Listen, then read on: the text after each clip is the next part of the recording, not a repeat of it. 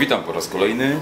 Mm, Dziś, dziś pokażę jak przyrządzić e, szybko i prosto, bardzo pyszne i bardzo proste i myślę, że kolejne efektowne danie, czyli koktajl z krewetek.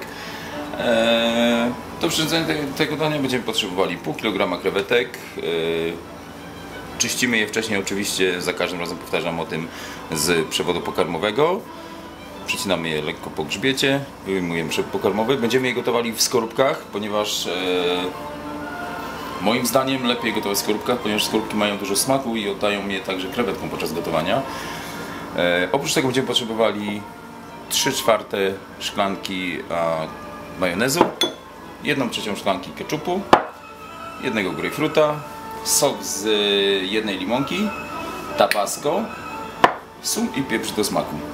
Eee, za chwileczkę wracamy z sosem, a tymczasem mamy tu gotującą się wodę, więc szybko wrzucamy nasze krewetki do wody. Gotujemy je 4 do 5 minut. Myślę, że 4 będzie lepiej. 4 minuty.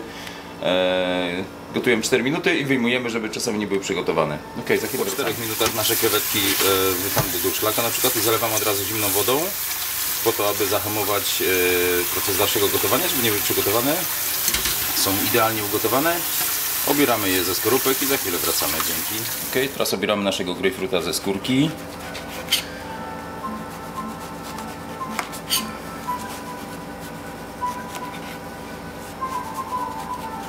Gdy grejpfrut, gdy grejpfrut, grejpfruta mamy już obranego, wycinamy z niego cząstki. Tniemy po błonach, przy błonach, tak?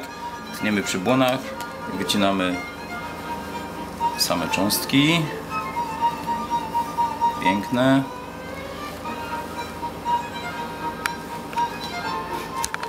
Ok, tak wycięte elementy grejpfruta przerzucamy do miski.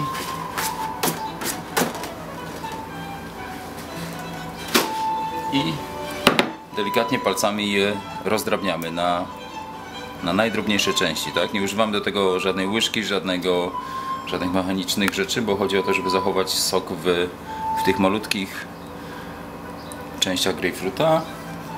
Wszystko razem rozdrabniamy i za chwilę wracamy. Ok, do naszego grejpfruta dodajemy majonez.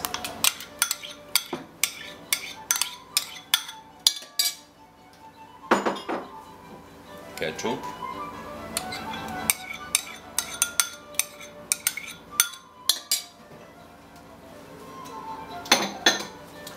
Sok z limonki, uprzednio wymasowanej oczywiście. E, Limonka dodaje, dodaje nam tego cudownego smaku. Połączenie soku z grejpfruta i limonki daje naprawdę bardzo, bardzo ciekawy efekt. Następnie dodajemy nasze tabasco, oczywiście według uznania. E, Kto ile lubi, kto jak lubi. Tabasco jest dobre, ponieważ tabasco ma, bardzo lubię tabasco, gdyż tabasco za jego smak, tak? Nie za, za ostrość, a za smak. Ja dodaję tabasco do wielu, przy, do wielu y, potraw właśnie dzięki, dlatego, że ma taki, a nie inny smak. Ok, wszystko razem mieszamy. Możemy do tego użyć, jeszcze do tego, użyjemy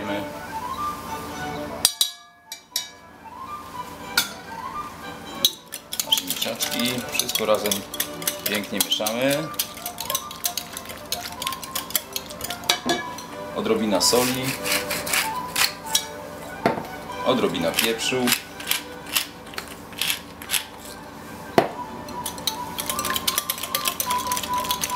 I nasz sos jest gotowy. Bardzo szybko, bardzo prosto. Dodajemy do tego nasze ugotowane krewetki. Wszystko razem mieszamy. I tyle. Nasz koktajl krewetkowy jest gotowy. Za chwileczkę wracamy e, z propozycją podania. Ok, mamy wszystko skończone. Nasz koktajl krewetkowy możemy podać, na przykład ja podaję e, w kieliszku z lodu, tak? Jest to specjalny kieliszek zrobiony z lodu. Możemy ten kieliszek zrobić oczywiście z jakiegokolwiek soku i tak dalej. Podlewamy lekko naszym sosem.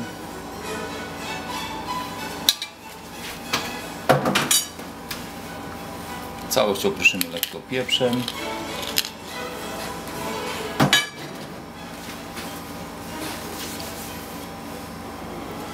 I cóż, danie gotowe.